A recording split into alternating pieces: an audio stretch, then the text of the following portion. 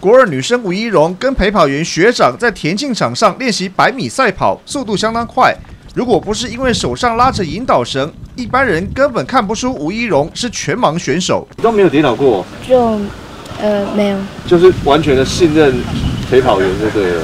嗯，吴一荣学跑步才两年多，这个月就在全国中等学校身心障碍者田径赛以十四秒五零拿下国中女子组一百公尺冠军，和上一届全国身障运动会金牌纪录只差不到零点三秒。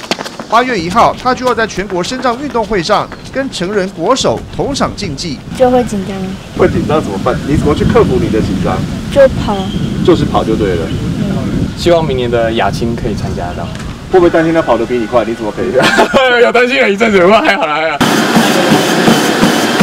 虽然暑假还要每天练习，相当辛苦，但吴一荣并不想放弃跑步，在田径场上全力奔驰，听着呼啸的风声和自己的心跳声，是吴一荣最快乐的时刻。